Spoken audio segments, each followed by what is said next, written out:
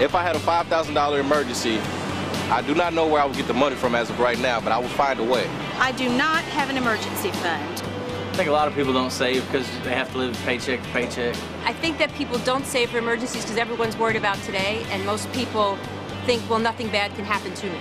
I don't think people save because some people don't know how. If I had a $5,000 emergency, um, I would get it from family. Have to go to the father-in-law. I guess I would have to go to my bank and see if I could get a loan. Yeah, I would use my home equity line of credit. Probably get it out of my assets out of my house. Personal loan through the bank. Or I could put it on a credit card.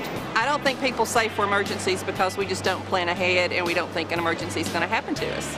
If we were to have an unplanned expense, I feel we are financially sound enough to do that. We have access to emergency funds like uh, stock options and some savings.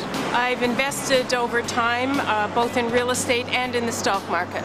The way that we most recently paid for an unplanned expense with her truck repair, um, she sold some of her 4-H steers, and that money is going to pay to repair her truck. Most people don't think about tomorrow. I think about tomorrow, the day after, the day after, and the day after. Please welcome nationally syndicated radio host and New York Times best-selling author, Dave Ramsey.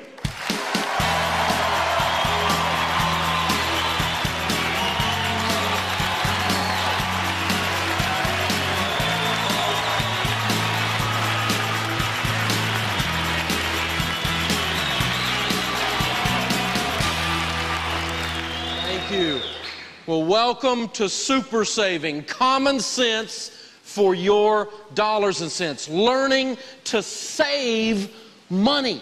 Now, this is something everybody knows they're supposed to do, but no one does it. And what we have found about all of these financial steps and all throughout Financial Peace University, we are going to lay out a step by step game plan for you to be able to win the core, the outline, the bones, the skeletal structure of that whole process is called the baby steps. Now, the baby steps work like this I have figured out that if you do little things all in the right direction long enough, eventually you get there. You don't have to make huge strides. You don't have to be real flashy. All you got to do is put one foot in front of the other and keep taking a baby step at a time. If you'll keep taking step after step after step after step, you get to win. And, so we've laid this out, this process of personal finance, into an idea that gives you a step by step process. The first thing to do, then the second thing to do, and then the third thing to do. We're going to talk about that starting right up front and starting right now.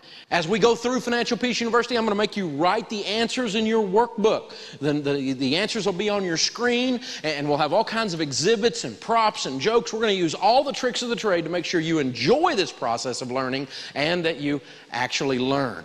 You know, money moves around. You have to make money behave. You have to make choices with it. And so our first choice is we're going to engage the baby steps. Now, what I've decided to do is I got people that have actually won in some of these areas of the baby steps, and they've actually accomplished the step that we're going to introduce to you, and they are going to help us introduce the baby steps each time. So that's the process. Now, let's talk about the baby steps. Baby step one is $1,000 cash in the bank. That's your very first one. I want you to do that really, really quickly. And baby step two is you put, you do the debt snowball. And we're going to work on that in the debt lesson in detail on how to get out of debt. And then baby step three, you're going to finish your emergency fund three to six months of expenses and savings. Baby step four is invest 15% of your income, and we're going to do that with the investing lesson and with the lesson on retirement and college planning.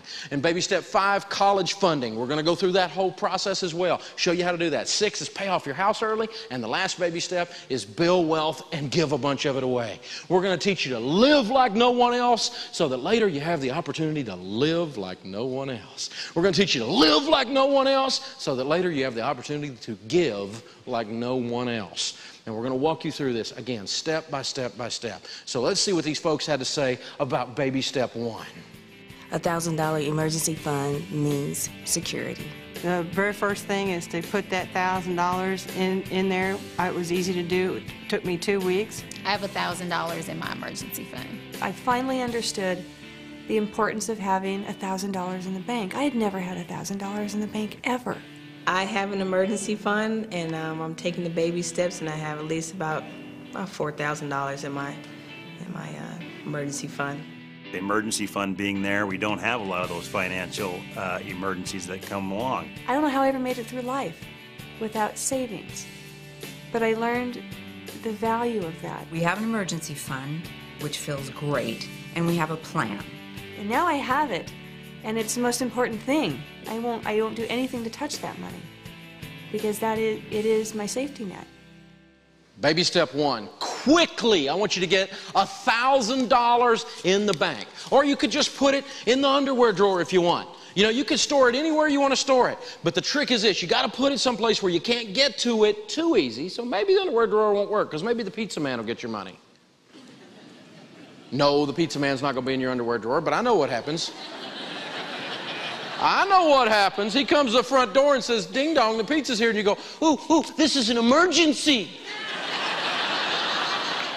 So you got to put it where you can't get to it too easily, but you also got to put it where you can get to it if you need it, because it is there just for emergencies. Most people can do this in a month, and you need to do it really, really fast. Baby step one is the easiest baby step, and baby step one is the hardest baby step. It's the easiest baby step because it's only $1,000. By the way, if you make under $20,000 a year in your household, mark through that and make it 500 because I want you to do this really, really quickly. So again, it's the easiest because it's a small amount of money. You have a big garage sale, you work a little extra, boom, you can get this thing done right now in one month. Knock that one out. Some of you already have $1,000. You're going, check that off. I'm ready to move on, right? Now here, it's the hardest baby step though because it means you've got to decide if you're going to climb this ladder or not. You've got to decide am I going to take these steps? Am I going to change my behaviors? And when you make that decision, it's a big deal because I'll tell you this human beings do not like change. We drive the same way to work every day on the same road, we wear the same clothes all the time if we're not careful. We, we, we, you know, we do not like change. We sit in the same place uh, in church every Sunday. I went and spoke at this little church one time. I was sitting down, sitting down front, getting ready to go up, you know, kind of on the front row there. And this little blue haired Jesus lady came down there and said, You're sitting in my seat. and you know, those little blue haired ladies, they're close to Jesus, so you don't mess with them. so I got up and said, Yes, ma'am. Right? But here's the deal we don't like change, even if what we're doing is not working. We're proud of our stupidity. You know, we become defensive of our mess, don't we? We're like a toddler sitting in a poopy diaper. Yeah, I know it smells bad, but it's warm and it's mine. we are defensive of our mess. Even if it's not working, we don't like change. So, this is when you decide if you're going to change or not. This is when you make the decision. So, it's the hardest baby step because you got to face you. You got to look in the mirror and go, You're the problem. And when you do that, then you start to win with money. See, what we're talking about here is, is that savings must become a priority, not an intellectual discussion, because I've never interviewed somebody that says, No, I think savings is dumb. I think saving money is a really dumb idea. I've never heard people say that. But everybody talks about it and no one does it. This is where you actually have to learn to decide to pay yourself first. You need to learn to give, save, and then pay bills. And I got to tell you, when I first started doing this stuff, I was weak. It was hard for me. And I had to learn to just take my giving, my tithing as a Christian off my budget, my saving off my budget, do it over here, and budget with what was left. Because if I ever put it up there on the budget, it would kind of sink down in there. There was always something that seemed a little bit more important that would jump up and bite it, and it would, and I, and I wouldn't be giving like I wanted to, and I wouldn't be saving like I wanted to. You've got to make it a priority. Let, let's kind of talk about it this way. How many of you in here have children? Raise your hand. Once I get your hand up, keep it up. Now, if you have children, how, and how many of you keep your hand up? If you don't have children, how many of you hope to someday? Or there's a child anywhere on the planet you kind of like? Okay? Now, that's just about everybody, right? So stay with me here. Now, you can put your hands down, but let's pretend for a second that, that a disease had broken out. That would be awful. And there was a vaccine that was needed to save the life of your child. And that vaccine was going to cost $5,000 cash, and you had to save $5,000 cash by the end of the year. You had to save $5,000 cash by six or eight months from now and you couldn't go get it. You had, to, you had to change your behaviors and save money. If it meant the life of your child, how many of us could find and save $5,000? One lady's like, which kid? But we could do it. All that means is this Now, obviously, that we didn't give you a raise, we didn't give you a budgeting technique, we didn't give you some magic pill to make you rich. You changed your priorities. In that horrible, macabre example, you looked at it and you said, if I had to, I could do it. If it became important enough to me, I could do it. You would reprioritize your life. Let me tell you what, that's when people start saving money. When it becomes important. And it's important. Because I tell you what, we got people, we've got a whole culture wandering through life like Gomer Pyle on Valium. and they wake up at retirement and go, Shazam, I'm broke. I sure hope the government, which is well known for its ability to handle money, will take care of me. this is a dumb plan. Saving money as a way of life is an exercise of character. It's an exercise of emotion. It's absolutely vital. You know, the U.S. has a negative savings rate. And co- countries like Japan and European countries, many of them have a positive savings rate. You know what a negative savings rate means? That means we are spending more than we make. Hello. That's not hard to figure out, is it? We're spending more than we save. We're eating into our savings every year. We have a negative savings rate. That's got to change as a culture, or we're going to fail. Saving money is about emotion and it's about contentment. When we use that example of the vaccine with a child, your emotion gets you and you say, I can, ah, I can do this. Ooh. And it's also about contentment. It's about, you know what, I don't have to impress you. I don't have to buy something to feel good about myself. It's okay to get me some stuff, but I'm just going to be okay where I am because it's more important for me to be able to have some savings to go to college, send my kids to college, to retire with dignity, to change my family tree, to have some stability for the first time ever in our household. That's more important than buying that thingy. And I'm not against thingies, but there's a process here that you've got to engage in. It has to become very, very important. And our parents never talked about savings much. For that matter, in a lot of households, parents didn't talk about money, did they? Our parents didn't talk about money, they didn't talk about sex. We figured they had neither, turns out they had both. And so we got to talk about this out loud. We got to say savings matters. You know, according to the Employee Benefit Research Institute, 58% of American workers have never even calculated what it'll take for them to retire with dignity. And 59% said they hope to have a standard of living equal or better to their working years. Now listen to this. 58% have never run a calculator or look at it, but 59% have hope of being better. What kind of stupidity is that? That's total disconnect in the way we're looking at money, in the way we're handling money. It doesn't work. Well, if I save money and I do the stuff you teach, I'm going to become rich and evil. And if I have money, I'll be an evil rich person. Yeah. There's a plan. But haven't we gotten this disconnect going there, seriously, where we think that everybody that's got money is evil or something? Sometimes we watch too much TV, I think. You know, the truth about money is, is that money is amoral. That means it doesn't have morals. It's not good and it's not bad. The Bible does not say that money is the root of all evil. It says the love of money is the root of all evil. See, that involves a human being. It doesn't involve money. Money doesn't have morals. It's not good, it's not bad. It doesn't make decisions. It functions based on what you or I do with it when we touch it. When we put it in the hands of a human is when we see it change. Now, it's kind of like this brick. This brick is amoral. I can take this brick and throw it through a plate glass window. Or I can take this brick and build a hospital or a home for unwed mothers. I can take this brick and build a clinic in a neighborhood that doesn't have one. The brick doesn't care. It's just a brick. But when you put it in the hands of a human, it starts taking on life. And then we say, oh, that guy's got a bunch of bricks. He must be evil.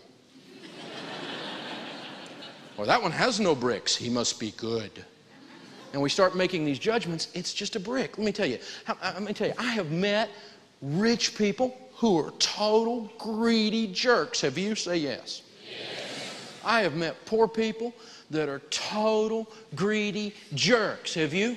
Yes. I have met poor people that are some of the most godly people on the planet, haven't you? I've met some rich people that are absolutely incredible human beings and do all kinds of cool things with their wealth and are some of the most godly people on the planet. Haven't you? Yes. You see, it's not the money, is it? If you're a jerk and you've got bricks, or you're a jerk and you haven't got bricks, you're still a jerk. money is amoral. You're not bad because you've got some. You're not good because you don't. It doesn't work that way. It's just money. That's all it is. Now, the only difference between saving and hoarding is not an amount. See, sometimes you look at someone else and say, Well, if I had that much, I would do. Yeah, right. You hadn't been there. You don't know. See, the difference in saving and hoarding is your attitude, it's your heart. That's what Larry Burkett used to say. Some people have $10 and they hoard that. Others have 10 million and don't hoard that. See, what I'm talking about is this you got to learn to save money. In the house of the wise are stores of choice food and oil, but a foolish man devours all he has. Wise people save money. And then when you get a pile of money, whether it's a big pile or a little pile, how you treat that, your attitude towards that, tells us whether that is saving or whether that is hoarding. That is a spiritual and an emotional, a philosophical way of looking at that money. It kind of is like this. You know, here's the deal. This is the international sign of anger, the fist. And, and if you hold your hand open like this, even a dog understands that. See, if you hold your money like this, it will never get out. But guess what? No more can get in either. It doesn't work that way. The clenched fist is the hoarding idea. The open hand allows money to come and go, and, and you've got a different attitude in the way you're looking at it. Now, let's look. There are three basic reasons that we save money for. Number one is for an emergency fund. Number two is for purchases. Number three is for wealth building. When the emergency fund is involved, what we're saving for here is unexpected events. Unexpected events do occur. You can count on it. Grandma said it. Grandma said to save for a visual aid. It's going to rain. Money Magazine says 78% of you will have a major negative financial event in any given 10 year period of time.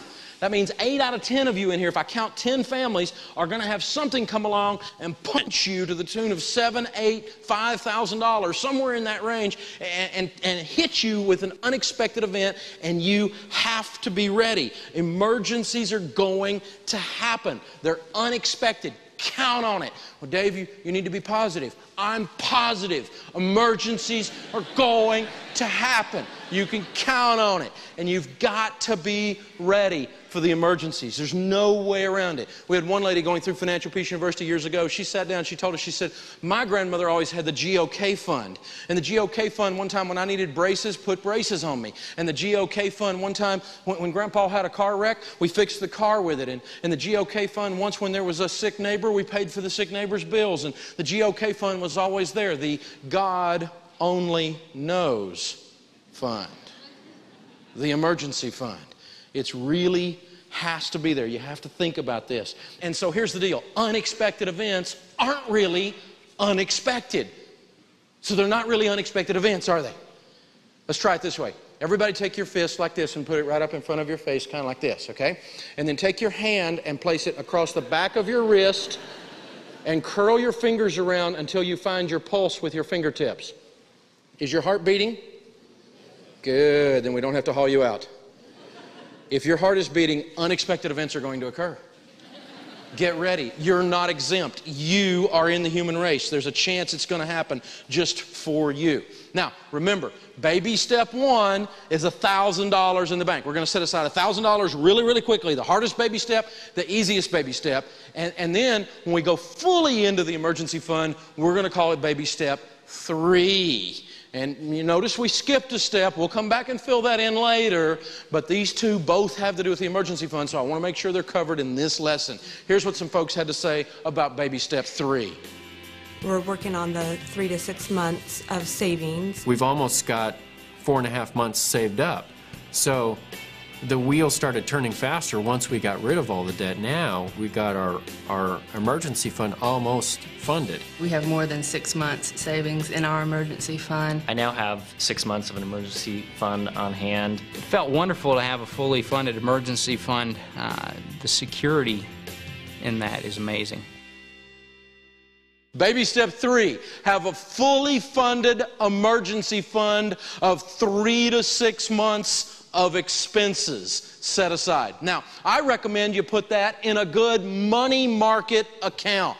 A money market account you can get with a good mutual fund company. It doesn't pay a lot. It's going to pay kind of like CD type rates. Whatever CD rates are over about six months, you can have this on a money market account. The good news here is there's no penalty for taking the money out if you have an emergency. You can just write a check against that money market account. So it's where I park my personal emergency fund or where I park short term savings for stuff I'm saving for less than five years. So if I'm saving up for other things that we'll talk about in a few minutes, I also use a money market account for that. Now, what you've got to remember the mistake people make about the emergency fund is they think, ooh, ooh, ooh, this is like $5,000, $10,000, $15,000. Three to six months of expenses is a lot of money. You start talking about having $15,000 sitting there in a money market account, people are saying, well, that doesn't give me much of a rate of return. I could do a BBD, I could do a bigger, better deal. Dave, I've got something I can do with that money. That's a lot of money. And that's not what it's for. Your emergency fund is not an investment. Say, not an investment. Your emergency fund is insurance. Say, insurance. insurance. Now, here's the deal with insurance insurance doesn't make you money, does it? Say no. no. Insurance costs you money, and it costs you money to protect your assets, to protect your investments.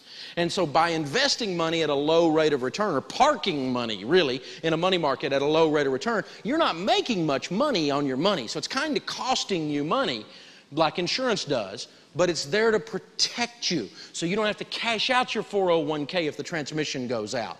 You don't have a problem if you get laid off and have to pay the house payment a little bit. You go, you got issues that are going to happen when life comes along and there's a $5,000, an $8,000, a $12,000 gotcha, then all of a sudden you're not trying to cash out investments because it's got you've got protection for the investments with this. The trick with this is don't touch it. Do not touch it. This is not a leather couch fund. This is not a I want to go to the Bahamas fishing fund. This is not a oh honey, I found a bass boat fund. This is an emergency fund. You do not touch it. And once you get that in place, it will cause you to relax. It'll give you a sense of peace, a sense of destiny with your money. It is a huge emotional step in your financial process. Never, never, never miss this. I remember I was doing a book signing a while back, and this lady came, and she came in the book signing, and she was just, she was kind of, it was in summertime, it was in August, and, and she was just, well, she was sweaty. It was a lady, she had perspired, okay?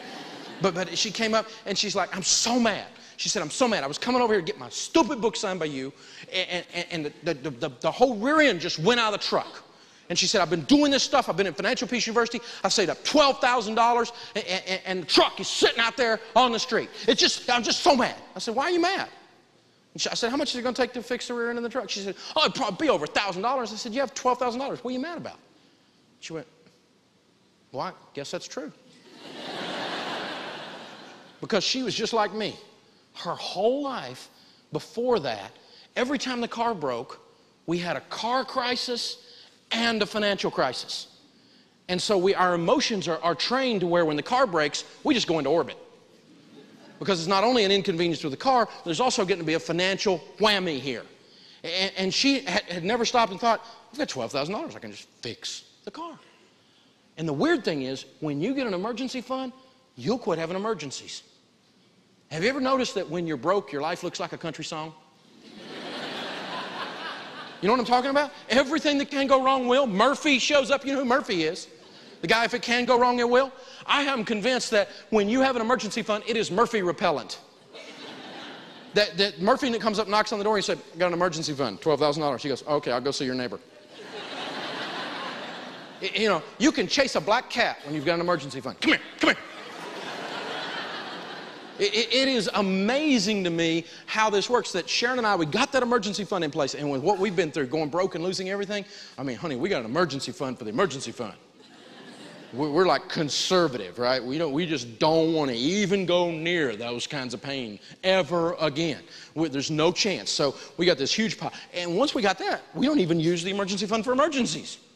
Something comes up, we just kind of work it out. But we don't have big emergencies like we used to because everything was a crisis when we had absolutely no dollars. And when you put some pad between you and life, Life will leave you alone a little bit in the negative ways, anyway.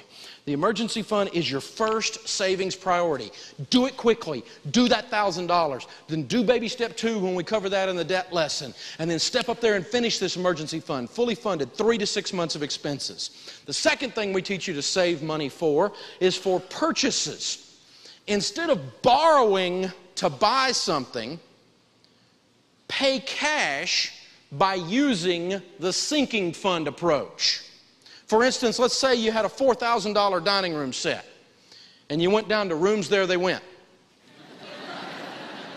and they would have, if you went to the local furniture store, right, and you went down there, there's a $4,000 dining room set, they would have 90 days, same as right? And, and, you could go in there and you could finance it. Well, here's the trick. A buddy of mine in the finance business told me the other day that 88% of the 90 days, same as cash contracts, that's 9 out of 10, do not pay off in 90 days.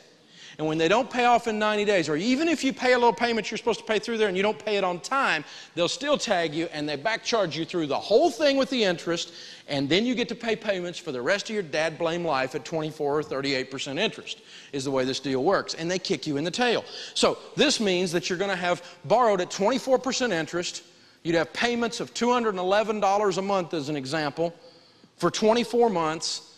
And so you'd end up paying 5000 $64 for a $4,000 dining room set. Here's an idea. Here's an old fashioned thought the way your grandmother would think or your great grandmother would think about money.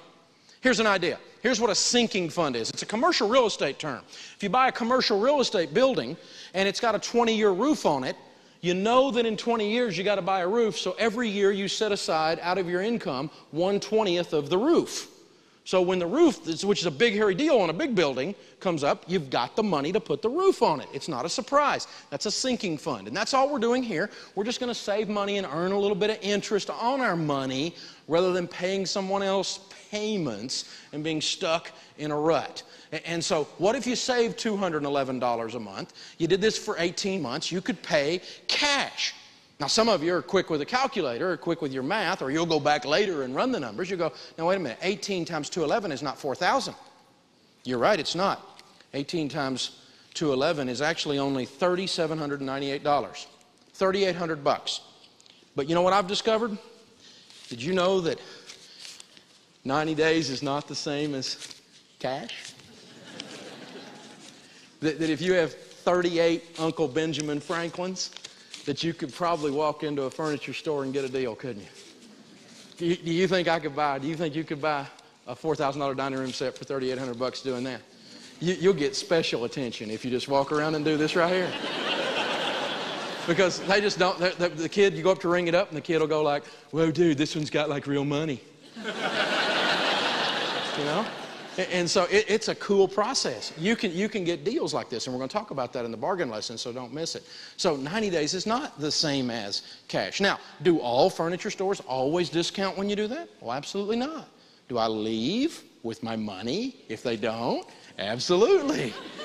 because I'm going to save up and pay for it. And you know, you start paying for furniture that way, you're going, I'm not sure I like the furniture. I kind of like this. I'm just going to go home. You know what I'm saying?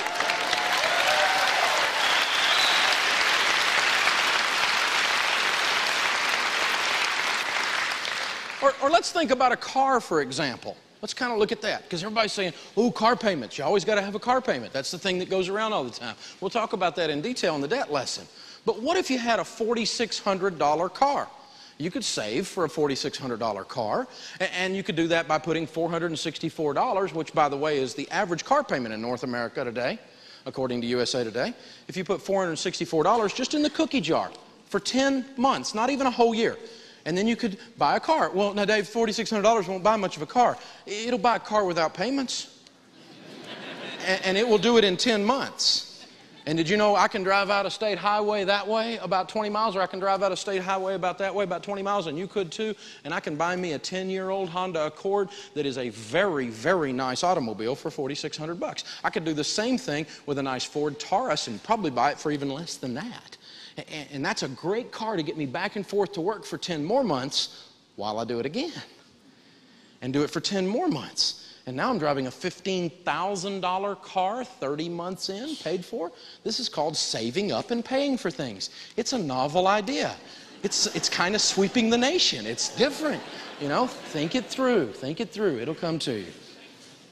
Now, the other area is wealth building.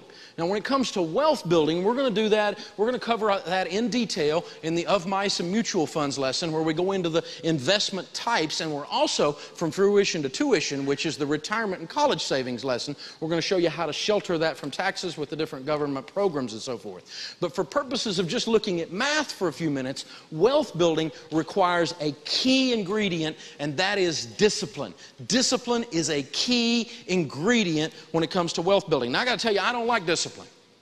Anybody that just says, I like discipline, you're kind of weird. You know? That's kind of a sickness, you know. I mean, I like discipline. Yeah, I don't want to. I don't want to go there. That's kind of that's out there a little bit, okay. But I tell you what, I do what like I do like in my life what discipline produces. When I am disciplined in taking care of my body, I like that I feel better and I'm a little thinner. When I am disciplined in taking care of my money, I like that I have some. That's a big, hairy deal, you know? It works that way. And the Bible talks about this. It says, No discipline seems pleasant at the time, but painful. Later on, however, it produces a harvest of righteousness and peace for those who have been trained by it. That is a powerful set of sentences right there. Don't miss that. No discipline seems pleasant at the time. We can all admit that. When I go out running, some mornings it's early and I don't want to get up, that isn't pleasant at the time. But when I get to work later that day after doing a few miles, I feel better, don't I? Same thing with my money. No discipline seems pleasant when I'm doing it, but then when I need a little money to buy a car or take care of my child or send my kid to college or something, I've got some. It's not pleasant at the time, but it produces a harvest that is powerful. Building wealth is a marathon, it is not a sprint. That you, you can't get rich quick. Everybody's looking for a shortcut. Everybody's watching midnight cable TV. I'm going to order this tape set, and they've got magic pills, and, and it's easy, and, and it's not easy. It's not easy. Building wealth is hard. Otherwise, everybody would be rich. It's tough, but it's worth it. And anybody that tells you it's easy, and anybody tells you they've got a shortcut, and anything that sounds too good to be true is, it's not going to be. It's not going to work. It's not going to work. If it sounds too good to be true, it's too good to be true. That's the process. Wealth is a marathon, it's not a sprint. And we live in a culture where we don't want to focus on anything. The whole culture is ADD. You know what I'm talking about? We just, we're just all, we're all crazy, you know? We can't keep our eyes on nothing. I mean, talking on a cell phone, putting on the makeup, driving with your knee. I mean, come on. Get out of the left lane. You know, I mean, come on, right? Concentrate on something, focus on something. And if you do that long term, that's a marathon. And wealth is a marathon. Anybody that tells you it's a sprint is not smart. Stay away from them. It's not going to work. All the wealthy people I talk to say, Dave, it's a process over time. Here's an example. What if you saved your pizza money or your cable money? $100 a month. Now, some of you spend 150 on cable and 600 on pizza. But, but average, let's just say you took $100 a month and you were to save that from age 25 to age 65, your working lifetime. And, you were to invest that steady every single month in a good growth stock mutual fund, and we'll talk about that in the investment lesson, and you were to average 12% on your money. If you were to save just $100 a month, at age 65, you'd have $1,176,000. You'd be a millionaire. Say wow. No one in our culture should retire broke. And yet, many, many people are. A hundred dollars. Dave, well, I ain't seen a hundred dollars. That's because you got car payments and furniture payments. Because you didn't save up and pay for them. A hundred bucks is not that much money in most people's household. A hundred dollars. And you retire with dignity. Just a hundred bucks. I was speaking to a group of high school seniors a while back, and the teacher said, Dave, talk to these kids about what smoking costs. So we discussed it in there for a few minutes, and, and we came up and we said, well, gosh, you know, what if it was like a pack a day? And we said, okay, maybe $3 a day. So let's do the math a minute. $3 times 30 days is what? 3 times 30 is $90 invested. So if you were to invest that much from age 16 to age 76, you'd have $11.6 million. This kid in the back goes, Whoa, dude, what do you do with that much money? I said, You change your family tree. Maybe this time it'll fork.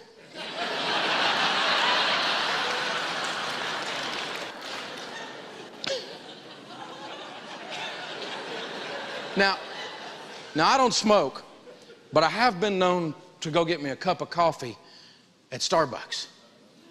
And that's like, a friend of mine calls it five bucks.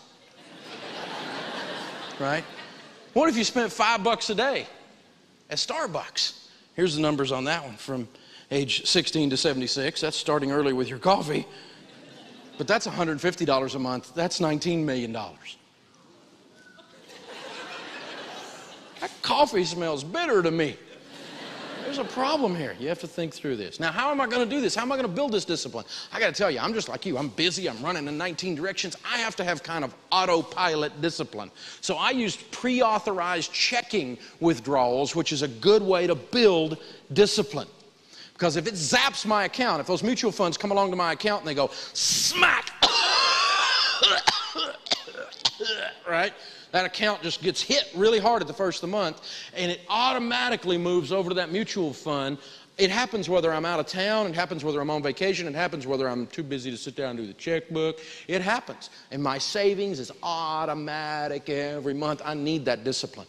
I need that automated process to be able to save that way. That is a good way to do it. And what we're trying to create here with wealth building is a compound interest which creates a mathematical explosion. Now, compound interest works like this. Let's say that we had $1,000. And to make the math easy, so you can help me right quick, let's say we made 10% on the $1,000. 10% of $1,000 is $100. Now, if I left that money in the account, the 1000 plus the 100, the next year I would have 1100, wouldn't I? And I would earn 10% on that, which would be 110 dollars, right? So the next year I'd have $1,210, and it keeps building up. And every time it builds up, it gets a little more interest every time because you're not only getting interest on the principal, but you're getting interest on the interest that you've built up. And that is a powerful, powerful process. The trick is you've got to start right now. You got to get with it. We got to get these, these emergency fund out of the way and start paying cash for things so that we don't have any debt so that we can build some wealth. And as we start really doing our investing, we get to see the power of compound interest. Ben and Arthur discovered that. Ben is, well, he's a bright young man. At 19 years old, he decided to start saving $2,000 a year. He did that from age 19 all the way to age 26. Now, at age 26, how much money did Ben add to his account personally? He used to put in 2,000, but at age 26 or at age 27, how much did he put in? Zero. He didn't put another dime in, did he? And after that, his interest just earned interest, and his money earned interest, and the snowball kept rolling over and over and over. Now, his brother Arthur doesn't put any money in because he's out playing and goofing off and spending everything he makes, right? He acts like he's the government or something. He spends more than he makes. And so he finally wakes up at 27 years old and says, I'm going to save $2,000 just like my brother. And he does that from age 27 all the way to age 65. Now think with me on this. Arthur, who has put in $78,000, is behind Ben, who put in only $16,000 by over $700,000. Let me say that again so you get it. The guy who put in $78,000 got beat by the guy who put in 16,000 by $700,000 just because the other guy started earlier. Wow! Some of you are going, Dave, that's a real neat example if I was 19.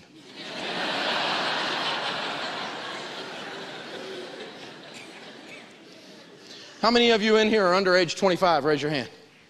Very cool. Do you understand that if you understand that chart we just did and all the implications that it means, and you cause those implications to affect your behavior, I just completely made you a multimillionaire.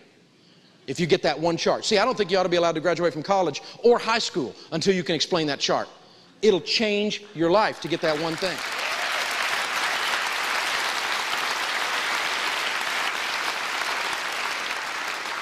Now, how many of you in here are like me? You're over 45 years old. Raise your hand, be proud of it. Good.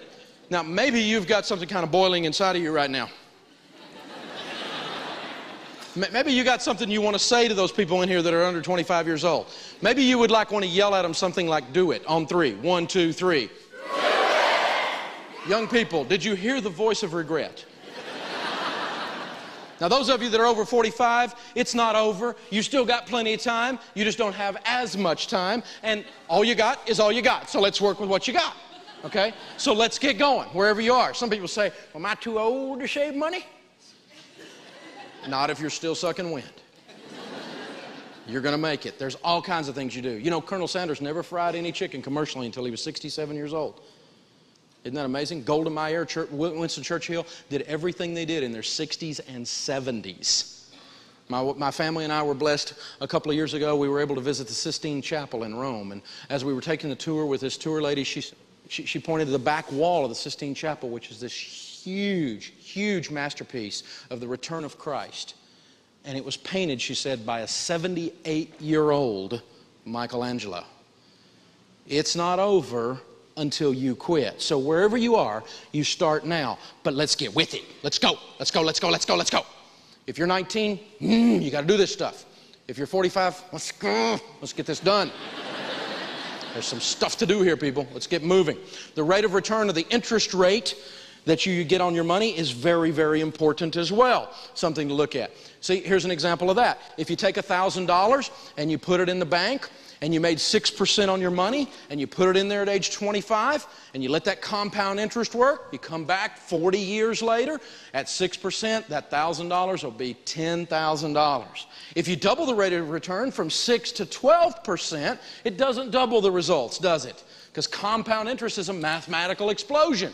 1 plus 1 doesn't equal 2. So when we go from 6 to 12, we don't go from 10 to 20. We go from 10,000 to 93,000 dollars. And when you triple it and you go from 10 or you go from 6 to 12 to 18, it doesn't go from 10 to 20 to 30. It goes from 10 to 93 and you made 18% on your money, you'd have $750,000. Dave, you can't get 18% on your money. You know that. Well, I sort of do. I've got several mutual funds that have averaged over that for 20 years. I really don't think that's a reasonable amount to expect in the coming years. And I don't run my calculations for my future based on 18%, but I've actually owned some conservative investments that have done that. We'll talk about that in another lesson. But I have found a place where you really can get 18% on your money.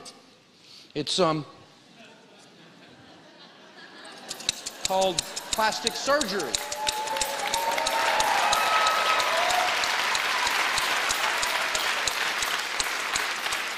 Because mathematically, not paying out 18% is suspiciously like receiving it. You see, what happens to us is this. We, you know, we take the $1,000 down to the bank and we open up a bank account. And as we do that, we put the key in the engine of the most sophisticated and well funded marketing machine ever known to man, and we start the machine. The machine is called the financial institution. They spend more money selling their product and are more sophisticated at selling their product than any other industry. They are absolutely professional marketers. They are very, very good at what they do. So if you go open a savings account, by the time you get home, in your mailbox is one of these, isn't it? And, and it's in there and it's like, got a little letter in there that says, Welcome to the family. We want to build a relationship with you. And, and I got that thing out and I read it, it said 18%. And I went, nobody borrows money at 18%. That'd be stupid. I'm not going into debt at 18%. I was in my 20s and I told my wife, I said, honey, got this stupid credit card, 18%. We don't need the thing, but I'm going to put it right here just in case there's an. Oh no, you did it too. And we're sitting there doing the bills one week, and there's sweat on the upper lip, and we're fighting, and we're not going to make it, and we're going, okay, honey, I got a plan. We'll eat every other week. we're just barely making it. You know, all the money comes in, all the money goes out, only the names are changed to protect the innocent. Anybody been there but me? You know what I'm saying? And Monday morning, we mail all the bills out, and then they're out there floating around in the mail. And about Thursday, I go to start the car, and the car won't start. It's got a bumper sticker on it that says, I owe, I owe, so off to work I go. I've got to have the car to get to work. I mean, how am I going to get to work to pay these bills if I don't have the car? A stupid car won't start. It's a $422 alternator. So we take the Tahoe down to the mechanic. Turns out he's not a nonprofit ministry. he actually wanted to get paid. We said, well, just this once, we're going to fix the car, because who knew the car was going to break? And we're going to put it on this thing because this is an. Yeah. We're sitting there about August, and, and the kids come in the house kind of like this Dad, Dad, Dad, Dad, we're getting ready to go back to school, and Dad, this is a problem. Dad, we're either going to have to buy clothes or you're going to have to pay for counseling. And we're going, oh no, the children grew. Who knew this was going to happen? So we go down to Target, that fine French store, and take care of our children and buy them clothing because they surprised us by growing. We have no money.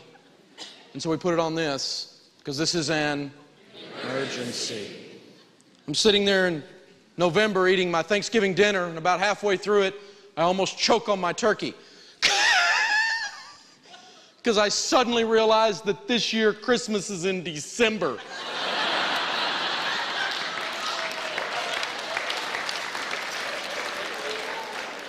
Isn't it amazing how Christmas sneaks up on us like they move it or something? It's always there. It's not a shock. That's where it is. It's December. Why is this a shock? And then we get all stupid, right? Oh, we have to get little Johnny some plastic stuff. We have to run down to Toys R Them and get some plastic stuff for little Johnny. Because little Johnny's little self esteem will be damaged if he doesn't get some plastic stuff. And if his little self esteem is damaged, he will kill 87 people with an axe and he'll, he'll be in the, in the prison, and the prison psychologist say, Little Johnny, why did you kill 87 people with an axe? He said, Because I didn't get an Elmo when I was four. and it'll be all my fault. And this is how parents think. And the kid's going, I just wanted Elmo. And those of us that are Christians, of course, we Christianize our stupidity. It's Jesus' birthday. Jesus said to get the little children plastic stuff. It says it in second hesitations.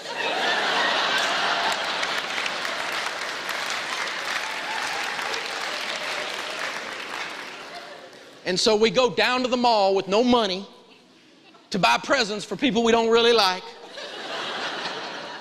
And 68% of you, that's 7 out of 10 of you, while you were down there shopping with no money for people you didn't like, bought yourself a gift.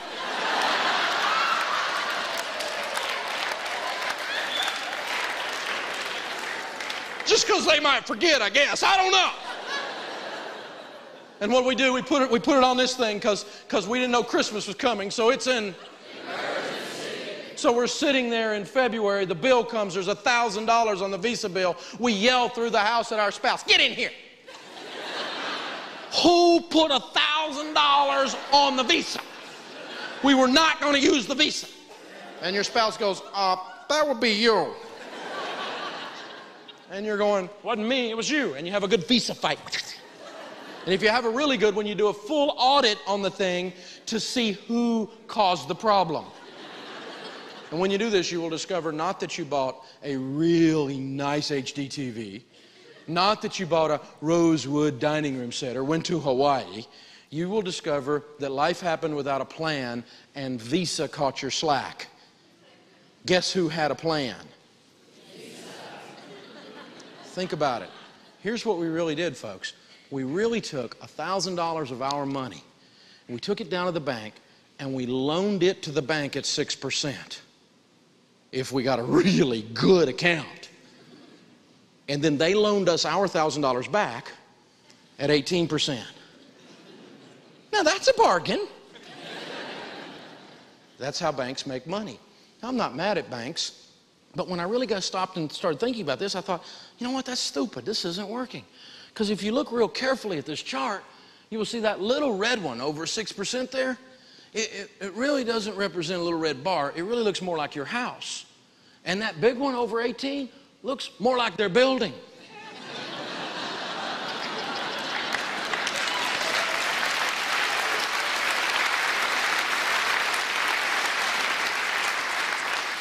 So when Sharon and I discovered this, we said, uh uh-uh, uh, we are not playing anymore. I don't like the game. It's not win win. It's they win, I lose. I'm out. No, thank you.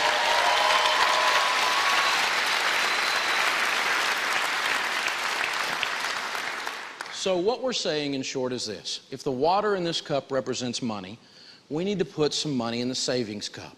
If we save money for emergencies and there's an emergency, we just fix the car, right? It's not a problem. If we save money for retirement and we get ready to retire and we want to do that with dignity, we just retire with dignity. If we save money and we want to buy something really nice, like a leather couch or a boat or something that you really want, you save up and pay for it, you just buy the boat. It's not a problem. You write a check, you give them cash, whatever. You can save money for your kids' college, and then they wouldn't graduate like most college seniors will graduate this year with tens of thousands of dollars in student loan debt. But we don't put enough money in this cup. Many people put, as we said, no money in this cup. Instead, we have the tendency to use this cup, the spending cup. And we didn't tend to put all of our money in there so that there's not any. And the problem is when you do this, that when you put all your money in the spending cup, that it's gone.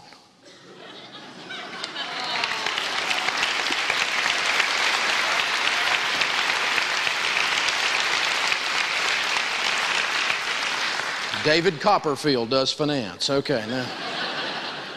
All right, now, what I want you to do is, as we wrap this lesson up, I've got a couple things. I want to tell you a story, and I also want you to look at this quickie budget form. Now, the quickie budget form is not a big deal. This is a basic one page budget form, and so you go home from Financial Peace University your after your first session, and you sit down and you start to think about budgeting. You start to think about spending every dollar on paper before the month begins. And you lay out just the basic budget, nothing real complicated. We'll get into the whole details of all the budgeting forms and the cash flow planning lesson a little bit later. But for right now, I want you to get started. I want you to come back to class with this thing filled out. Now, we're not going to have anybody investigate and go through and go, oh no, look what she's spending. We're not doing that. We're just going to make sure you're doing this. We want to make sure you're addressing the issue. Because you can't go through life going la la la la la and acting like everything's okay because it's not okay. You got to write it down. And when you start putting it down, and those of you that are married, you're going to have a big fight. Get ready. You're going to have a big fight because you haven't been dealing with this stuff. And you're going to be going, look at that. Okay, don't have a big fight. This is amnesty, okay? Just be calm, be quiet, gentle with each other, and begin to lay this thing out for the first time. Well, there's plenty of time for fighting later. I'll show you how, okay? But for right now, I want you to just have this as an assignment. It's your homework assignment before your next class period. Have your basic quickie budget done. Now, I want to close up with this old story. There once was an old man on the side of the hill. He was known far and wide as being able to answer any riddle. And down in the valley were two young smart alecks. And the smart alecks decided they were going to capture a small bird to trick the old man. And they were going to ask the old man, Is the bird alive or is the bird dead? And if the old man said the bird was alive, they would crush it and kill it. Yuck. And if the old man said the bird was dead, they'd let it go. And either way, they had him. So, right with their plan, they got up early one morning and they captured a small bird. And as the mist is rising off the side of the mountain, we see them going up the mountain trail to the old man's house and they knocked on his door. And the old man came out to the door on his cane and they said, Tell me, sir, what do we hold in our hand? And he said, I perceive from the fluttering and the chirping that you hold a small bird. Right you are, they said. Now tell us, old man, is the bird alive or is the bird dead? Now, the old man, he thought, he thought, if I say that bird is alive, they'll crush it and kill it. And if I say that bird is dead, they'll let it go. And either way, they got me. So he thought a moment more, and he raised his eyes to meet theirs. And with the wisdom of the ages, the old man said, The bird is as you will it. See, that's the way it is with money. It's your choices that matter. The bad news about my life is I went through losing everything foreclosed, sued, almost lost my marriage, and bankrupt, and had to start completely over in my 20s. The good news is I made different choices after that. And now, here, many, many years later, God has poured His blessings on our family because we're doing the stuff the way He teaches. This stuff works, but you got to make the choices. It is as you will it. Thanks for being here.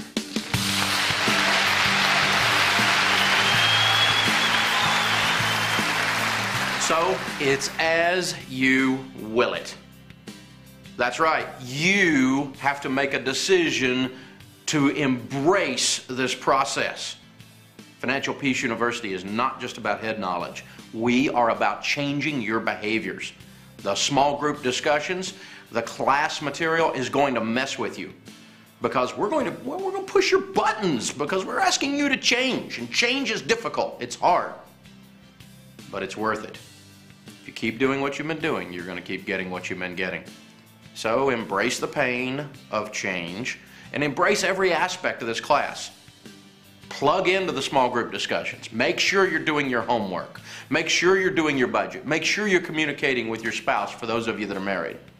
Make a decision to take this information and put it not just in your head but in your heart. Change your behaviors permanently. In this 91 day process, we're going to teach you how to handle money. And it absolutely works every time if you work it. So take whatever level you want to take, but I suggest hitting this on the emotional, the spiritual, the relational, the mathematical, the financial levels, whatever level is there. Take them all in and change the way you handle money permanently. Don't miss a single class. Be early and stay late. It's only 91 days, and it could set habit patterns in place that could transform your entire life, and for that matter, your family tree. Don't miss a second. Make the decision to win. It is as you will it.